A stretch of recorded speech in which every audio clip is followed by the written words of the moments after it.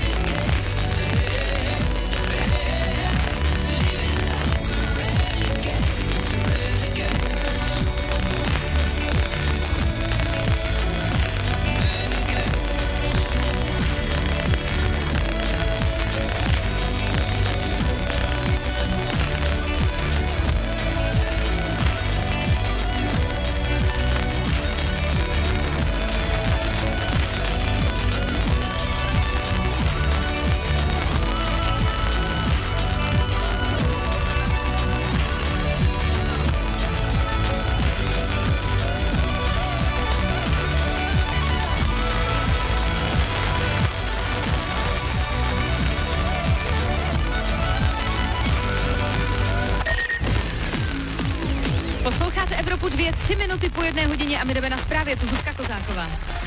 Hezké odpoledne. Prezident Miloš Zeman vyzval v dvouminutovém projevu k solidaritě a sounáležitosti. V souvislosti s Vatikonocemi největším křesťanským svátkem ho o vystoupení požádal kardinál Dominik Duka. V polední promluvě zdůraznil, že se nechce věnovat ekonomice, politice ani epidemii koronaviru, ale naději. Předtím na TV Prima také řekl, že je pro pokračování restriktivního způsobu boje s pandemí koronaviru v Česku. Přesně před měsícem se uzavřely české školy. Žáci a studenti se tak od 11. března učí na dálku. Minister školství Robert Plaga zopakoval, že do Lavic by se mohli vrátit na konci května. Záležet bude ale hlavně na ministerstvu zdravotnictví. Oba rezorty už dřív termín konce příštího měsíce označili za realistický. Mezitím se kvůli plánovaným maturitám nebo přijímacím zkouškám upravují zákony. V týdnu sněmovna podpořila změnu pravomocí vysokých škol. Následující týden ji budou posuzovat senátoři.